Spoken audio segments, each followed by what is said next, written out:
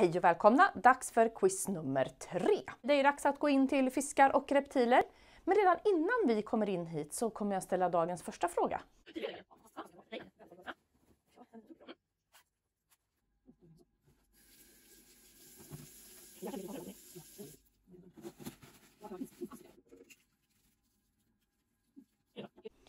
Ni såg ett litet filmklipp här på hur jag beter mig innan jag går in i det här rummet, eller innan vi går in i alla våra rum egentligen. Varför byter vi om och tvättar eh, händerna efter en noga ritual?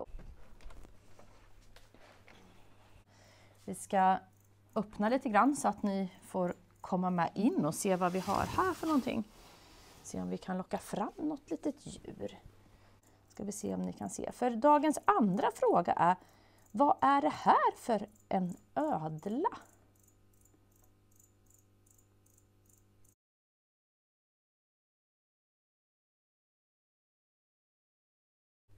Ha, I vårt tredje terrarium så har ju vi den här kompisen som heter Adam. En eh, majsorm. Eh, vi måste ju fråga om pinnar.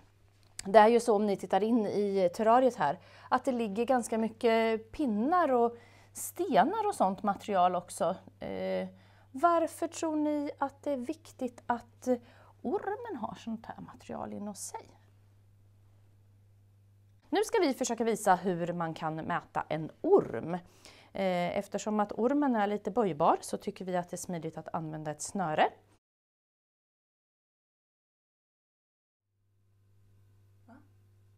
Ja, dagens utslagsfråga den blir ju hur lång var våran majsorm?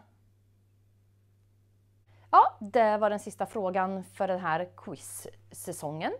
Ni har som vanligt en vecka på er att kunna skicka in svaren och man ser ju i instruktionen hur man går tillväga när man vill svara på frågorna. Så vi säger tack så mycket för den här gången. Simma lugnt, ha det gott, hej då!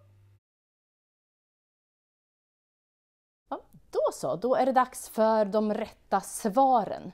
Fråga nummer ett, alltså vad betyder ordet att dägga?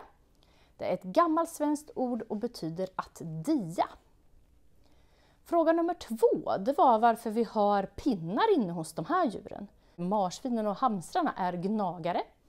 Eh, kaninerna hör till hardjuren.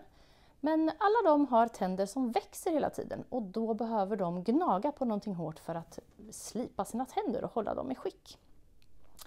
Den sista frågan var vilken av de här tre som födde välutvecklade ungar, alltså ungar med päls från början.